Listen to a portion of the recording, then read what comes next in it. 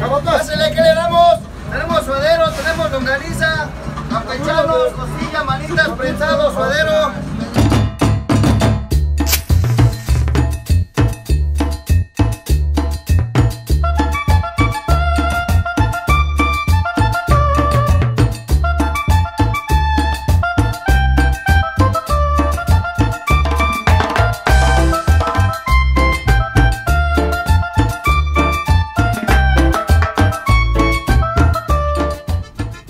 Peculiar y carismático local de tacos de guisado es el espacio perfecto para que tu paladar encuentre la felicidad.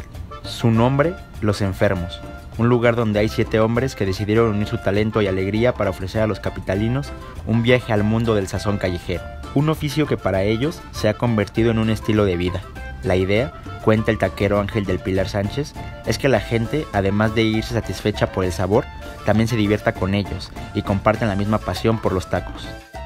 El nombre llama la atención, pero tiene una historia especial que nadie se imagina.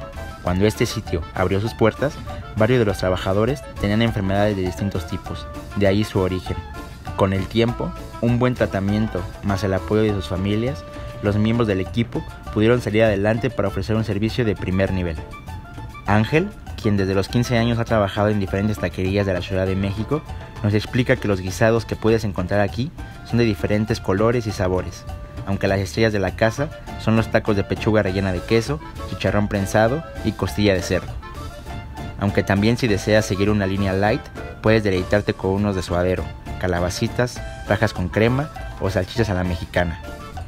Y no podemos hablar de tacos sin mencionar la salsa, ese complemento que llena de vida a nuestras tortillas. Aquí hacen seis diferentes, guacamole, salsa verde, de chile pasilla, de tamarindo, de piña y la favorita de todos, la de chile morita. Ángel también afirma que este trabajo era para él y usa una playera sobre la cual está inscrita su filosofía de vida. Tú, yo, unos tacos de los enfermos, no sé, piénsalo.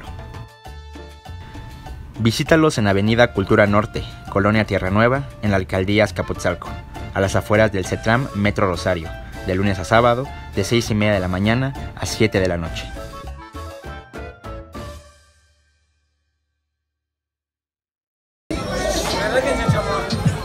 Invitamos a que vengan a comer aquí tacos los enfermos en el metro del Rosario. Muchas gracias. Muchas gracias.